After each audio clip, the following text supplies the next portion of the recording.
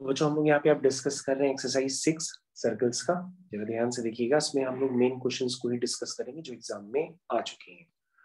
तो सबसे पहले बच्चों हम लोग यहाँ पे क्वेश्चन डिस्कस करने जा रहे हैं क्वेश्चन नंबर सेवन ये है बच्चों क्वेश्चन नंबर सेवन ध्यान से देखिएगा, है छोटा क्वेश्चन लेकिन तो भी बच्चों से नहीं हुआ था, कुछ कंफ्यूजन था।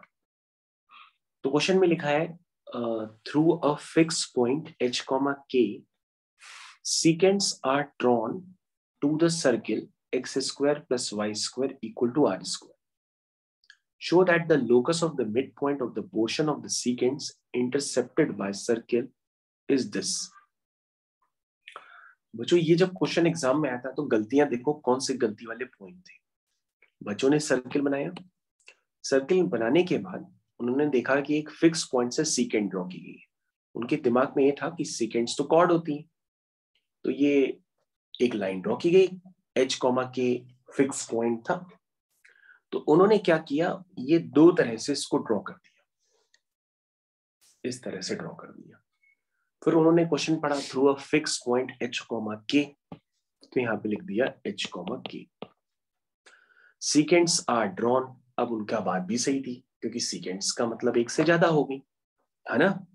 Secants are drawn to the circle circle की इक्वेशन गिवन थी। Show that the locus of the mid point of the portion of the secant तो बच्चों सीकेंड कौन सी पार्ट होता है? ये होता है सीकेंड ठीक है? अब इसके मिड पॉइंट का लोकस निकालना है। तो उसके मिड पॉइंट के लोकस को आप एच कॉमा के थोड़ा ना लेट करेंगे। क्योंकि एच कॉमा के एक फिक्स पॉइंट की तरह पहले से ही गिवन था। पहली गलती। लोगों ने ध्यान नहीं दिया, इसको दोबारा एच कॉमा के लेट कर दिया। जबकि h comma k fix point की तरह पहले से ही गिवन था। तो बच्चों, इसके मिड पॉइंट का लोकस निकालना है सीकेंड के तो आप उसको कोई नया पॉइंट लेट कर लीजिए एक्स वन वाई वन और लास्ट में लिख लीजिएगा कि एक्स वन को एक्स से और वाई वन को वाई से रिप्लेस करेंगे, क्योंकि आप एक्स वन वाई वन का ही लोकस निकालिए फिर बच्चों ने क्या किया? इस क्वेश्चन को एक्सटेंड करके खुद ही बड़ा कर लिया। उसने कहा सिर्फ़ कि सीकेंड के मिड पॉइंट का ही क्या निकालना है? लोकस निकालना है। तो अब चाहे आप मिड पॉइंट वहाँ लेट करिए, चाहे मिड पॉइंट आप यहाँ लेट करिए। बात तो एक ही है। लेकिन लोगों ने क्या किया कि यहाँ पे भी मिड पॉइंट ऊपर भी मिड पॉइंट और फिर एक कंप्लीट सर्कल का फॉर्मेशन कर दिया, इस तरह से डायग्राम बनाना स्टार्ट कर दिया। ये सब कंस्ट्रक्शन करके उन्होंने अपना क्वेश्चन डिफ़िकल्ट बना दिया। तो ऐसा बच्चों कुछ नहीं करना था। आपका टाइम वेस्ट हो गया इसमें तो। आपको सिर्फ़ एक मिड पॉइंट का लोकस निकालना है। तो सीकेंड के मिड पॉइंट का लोकस निकालने के लिए तो सबसे पहले आप देखेंगे कि सर ने आपको खूब सारे स्टैंडर्ड बताए थे। उन स्टैंडर्ड्स को यूज़ करिए और जो है अभी एक जो बेकार सी आपने कॉर्ड ड्रॉ कर रखी थी, उसको हटा दीजिए। चलिए तो अब आप क्या कहोगे? कहोगे, सर, ये तो एक chord bisected at mid point x one y one का स्टैंडर्ड हो गया। तो हम इस लाइन की इक्वेशन तो लिख ही सकते हैं। हम इस लाइन की इक्वेशन तो लिख ही सकते हैं।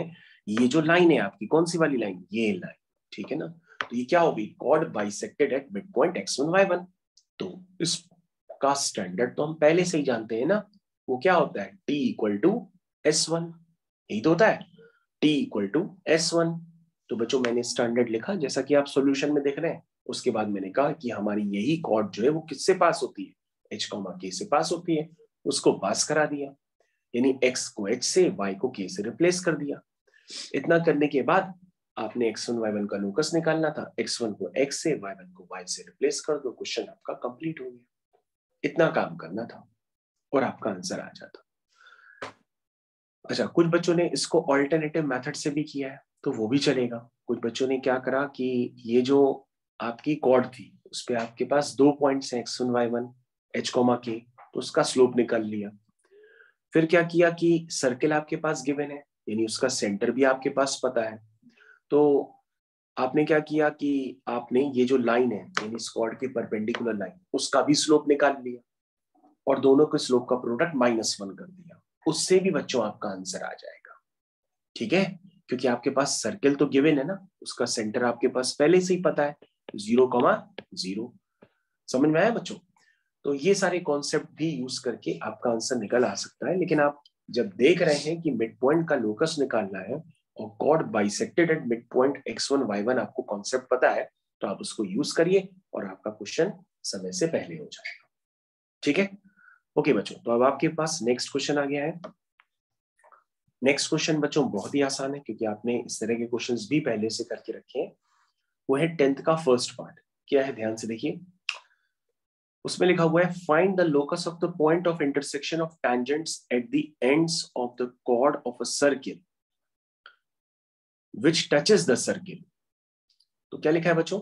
Find the locus of the point of intersection of the tangents at the ends of the chord तो बच्चों कॉर्ड नज़र आ रही है? ये देखो एंड्स ऑफ़ द कॉर्ड पे आपने क्या किया? टेंजेंट ड्रॉ की ये है पहली टेंजेंट ये है दूसरी टेंजेंट अब टेंजेंट्स के इंटरसेक्शन पॉइंट का लोकस निकालना है। तो आपने इसको एच कॉमा के लिख दिया। तो बच्चों एच कॉमा के के रिस्पेक्ट में ये कॉर्ड ऑफ़ कॉन्टैक्ट हो गई। ये लाइन जो है बच्चों, क्या हो गई? ये लाइन हो गई कॉर्ड ऑफ़ कॉन्टैक्ट तो कॉर्ड ऑफ़ कॉन्टैक्ट की इक्वेशन क्या होती है? T equal to zero T equal to zero लगा करके आपने इस लाइन की इक्वेशन लिख दी। उसके बाद ये लाइन एक गिवन सर्कल को टच करती है। तो बच्चों, ये तो बता चुका हूँ कि सेंटर से डाला गया परपेंडिकुलर रेडियस के इक्वल होगा। जैसे ही बच्चों, आप ये सब लगाएँगे, उसके बाद एच को एक्स से के को वाई से रिप्लेस कर देंगे तो आपके पास क्या आ जाएगा? आपके पास लोकस निकल करके आ जाएगा point of intersection of tangents का। समझ में आया? तो क्वेश्चन तो बच्चों, बहुत इजी है टेंथ का फ़र्स्ट पार्ट उसके बाद बच्चों हम लोग चलते हैं टेंथ के सेकेंड वाले पार्ट के ऊपर. इसमें लिखा है find locus of middle point of the circle which pass through a fix point A comma B तो सबसे पहले क्या लिखा है? लोकस निकालना है middle point of the chords okay बच्चों, इस क्वेश्चन को कंप्लीट कर लीजिएगा. This is find locus of middle point of chord of circle which pass through a fix point A comma B तो तुम कहोगे सर कॉर्ड के मिड पॉइंट का लोकस निकालना है। वो तो बहुत आसान होता है। Which is T equal to S one करके सबसे पहले chord bisected at mid point उसका आप कॉन्सेप्ट लगा दीजिए। उसके बाद बच्चों, ये कॉर्ड किससे पास होती है? फिक्स पॉइंट से पास होती है। ए कॉमा बी से। फिर इसको ए कॉमा बी से पास करा दो। पास कराने के बाद एच को एक्स से रिप्लेस कर दो के को वाई से रिप्लेस कर दो, आपका आंसर आ जाएगा। इजी है ना? बस वहाँ पर क्वेश्चन में थोड़ा सा करेक्शन है कि this is your fine locus of middle point of chord of circle समझ? और आपका क्वेश्चन कंप्लीट हो जाएगा। तो बच्चों, इस एक्सरसाइज के मैंने मेन क्वेश्चंस आपको डिस्कस करके बता दिए।